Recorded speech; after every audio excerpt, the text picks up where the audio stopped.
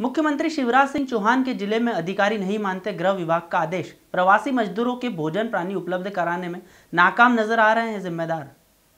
मुख्यमंत्री शिवराज सिंह चौहान के ज़िले में अधिकारी नहीं मानते गृह विभाग का आदेश। प्रवासी मजदूरों को भोजन पानी उपलब्ध कराने में नाकाम नज़र आ रहे हैं जिम्मेदार।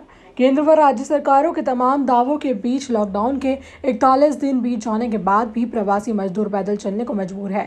सैकड़ों की संख्या में रोज़ाना प्रवासी मजदूर ज़िले से पैदल निकल रहे हैं। सीएम शिवराज सिंह चौहान के निर्देशों के बाद भी ज़िले के अफसर इन मजदूरों के लिए भोजन, पानी और आवागमन के साधन उपलब्ध कराने में नाकाम साबित हो रहे हैं।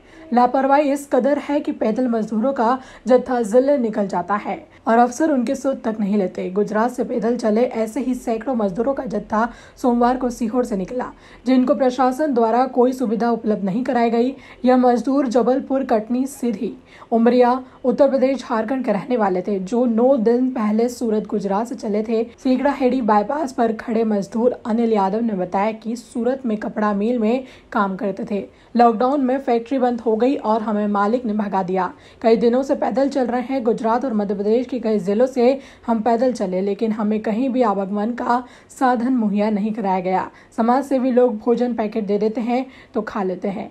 ज्ञात हो कि मध्य प्रदेश गृह मंत्रालय द्वारा 26 मार्च को एक आदेश निकालकर सभी कलेक्टरों को निर्देशित किया गया था कि अन्य राज्यों व मध्य प्रदेश के विभिन्न जिलों से अपने घरों के लिए जाने वाले पैदल यात्रा कर रहे मजदूरों के लिए जिला प्रशासन द्वारा भोजन, पानी और स्क्रीनिंग की व्यवस्था की जाएगी। साथ ही इन नागरिकों, वाहन से उनके गंतव्य स्थान की ओर रवाना किया जाएगा। लेकिन देखने में यह आ रहा है, जिला प्रशासन द्वारा पैदल चलने वाले प्रवासी मजदूरों के लिए कोई भी व्यवस्था नहीं की गई है।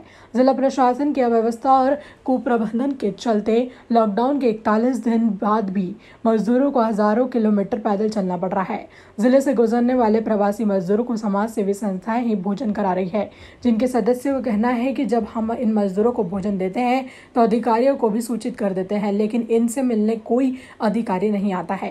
पुलिस प्रशासन से समन्वय की कमी शिवराज सिंह चौहान की गृह जिला सीहोर में पुलिस और प्रशासनिक अफसरों के बीच भारी समन्वय की कमी देखने को मिल रही है, जिसका खामियाजा गरीब मजदूरों को उठाना पड़ रहा है। एक आरक्षक के बताया कि इंदौर भोपाल राजमार्ग पर हम रोज़ाना गश्त कर रहे हैं। सैकड़ों की संख्या में मजदूर यहाँ से पैदल निकलते हैं। इस बात की सूचना हम प्रशासनिक अफसरों तक पहुँचाते हैं, लेकिन हमारी कोई नहीं सुनता। हाईवे से गुजरने वाले ट्रक व अन्य वाहनों में हम मजदूरों को बैठा देते हैं। समाज सेवी संस्थाओं को फ़ोन लगाकर इन्हें भोजन उपलब्ध करा देते हैं।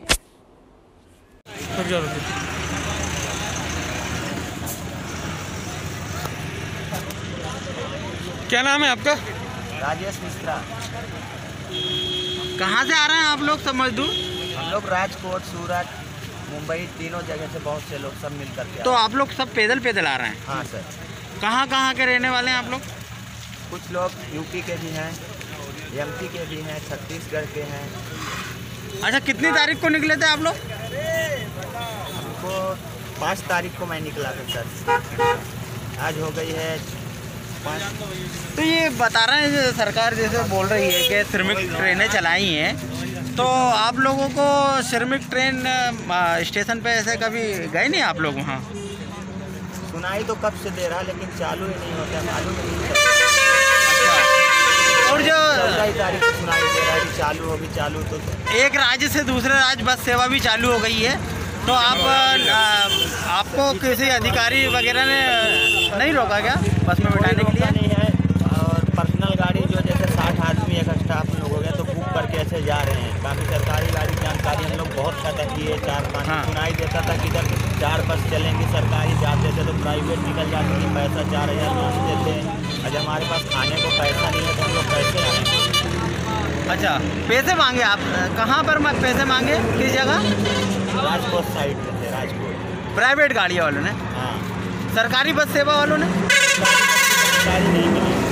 जानकारी नहीं मिल पाई आप लोगों को। कितने दिन से पैदल चल रहे हैं? आज हमको दस दिन हो गया है। राजकोट से आ रहे हैं। वो यहाँ मध्य प्रदेश बॉर्डर में आए तो यहाँ पे मध्य प्रदेश में किसी अधिकारी वगैरह पुलिस वगैरह ने नहीं रोका आपको? कोई नहीं रोका। अच्छा।